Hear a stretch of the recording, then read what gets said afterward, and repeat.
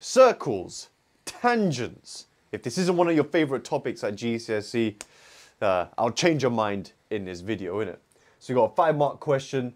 Maybe you've seen this before, someone actually sent it to me to complete. So we've got this circle, we've got a point P uh, with coordinates 3pp.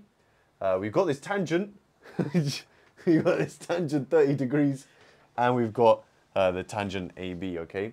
So AB is a tangent to the circle at the point A, find the value of P.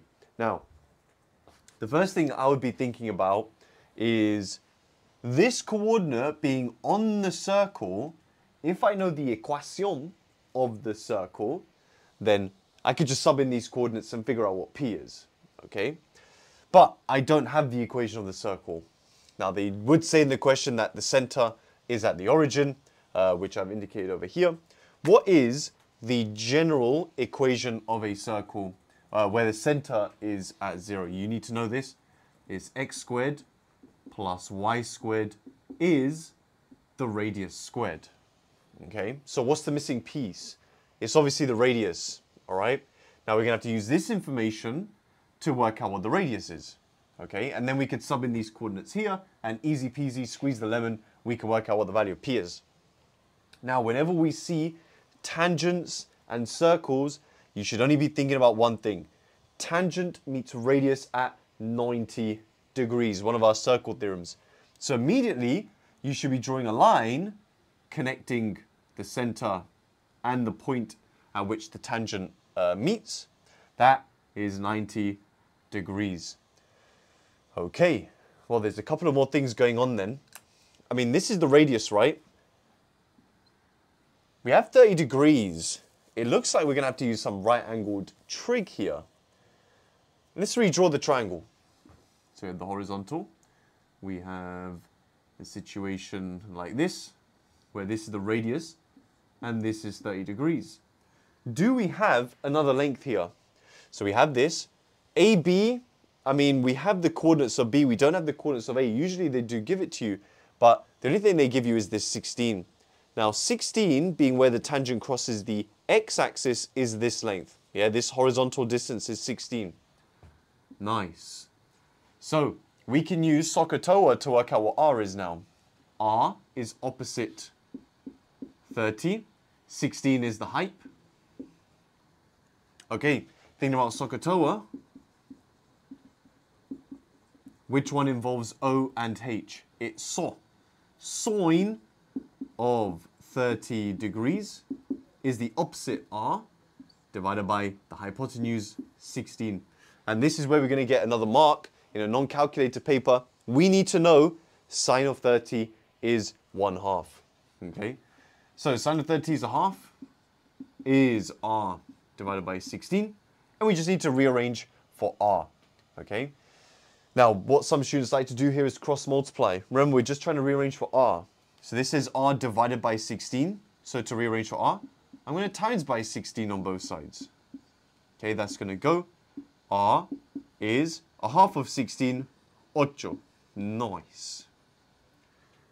Now we know the equation of the circle. It's x squared plus y squared is the radius squared. 8 squared is 64. Now, these coordinates must satisfy this equation because it lies on the circle. So let's sub it in.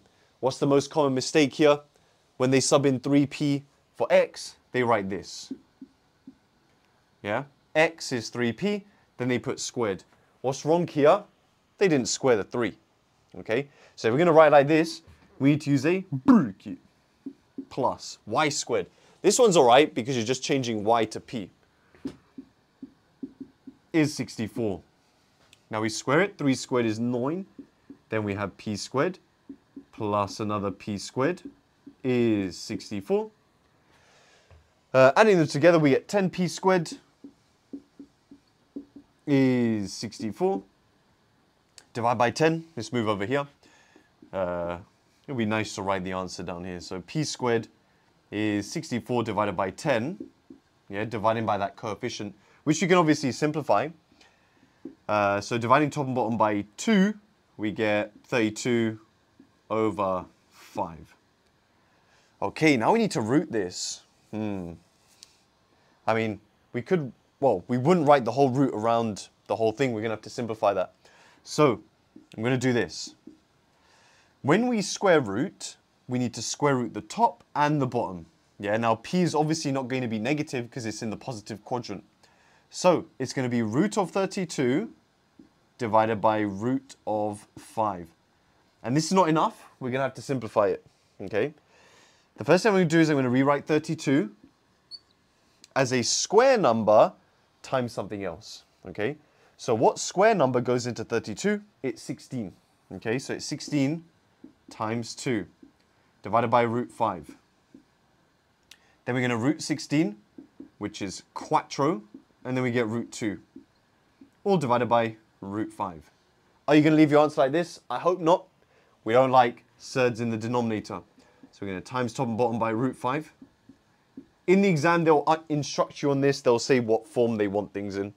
So we are now done. So P is 4 root 2 times root 5, which is root 10, divided by root 5 times root 5 is 5. You can think of it as root 25, which is 5. And that is our answer. Maybe with all this extra simplification, uh, it might be 6 marks, 5 or 6 marks is what you're looking at. But this is quite an in-depth question. So what have we done today? We've looked at equation of a circle, We've looked at SOHCAHTOA. We've looked at some circle theorems. We've looked at exact trig ratios. We've done some rationalizing denominators. All of these things in one question. These are one of those big questions in your exam, so make sure you save this video as part of your revision. And guys, if you learned something today, hit the like button. Make sure you're subscribed for more content like this. And if you're interested in my full maths courses, there is a link in the description. Otherwise, I'll see you guys in the next video. Nice.